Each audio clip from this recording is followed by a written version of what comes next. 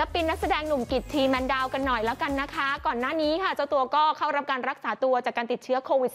-19 ตอนนี้ก็หายดีแล้วนะคะ สื่อเจอตัว ก็เลยต้องขออัปเดตกันค่ะ ว่าอาการตอนนี้เป็นอย่างไรบ้างนะคะเขาก็บอกว่าเขารักษาตัวจนหายแล้วค่ะ แต่ว่ายังคงมีอาการไออยู่บ้าง แล้วก็กระทบกับการร้องเพลงอยู่เหมือนกัน เพราะว่าจะรู้สึกเหนื่อยนะคะ นอกจากนี้ค่ะยังคุยเรื่องความสัมพันธ์กับคู่จิ้นค่ะ ที่จะเป็นคู่จริงได้ไหมอย่างน้องเบลเขมิสราด้วยนะคะหนุ่มกิจจะว่ายังไงเดี๋ยวไปฟังกันเลยค่ะอันอันนั้นคือมีอาการแบบว่าลองโควิดอยู่ครับใช่ยังเสียงยัง ไม่เหมือนเดิมครับ แล้วก็ยังไออยู่ครับ มีผลต่อการร้องเพลงไหม มีผลครับผมเอ่อเหนื่อยครับ แบบว่าทำให้ต้องใช้แบบพลังเยอะขึ้น คุณหมอบอกเดี๋ยวก็หาย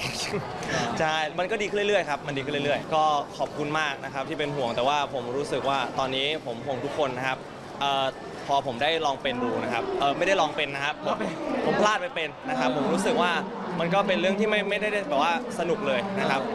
เป็นไม่ได้อย่าเป็นเลยหงุดหงิดครับมันไม่เหมือนเดิมคือแบบเราอยากจะ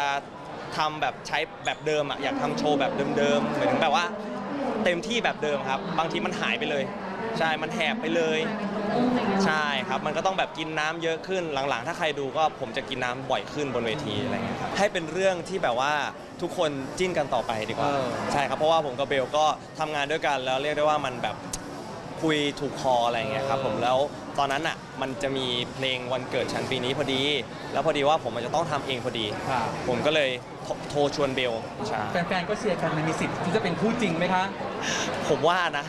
เป็นไปไม่ได้เออน่าจะเป็นไปได้ยากครับ ตอนนี้เบลน่าจะน่าจะสนใจหมามากกว่านะครับใช่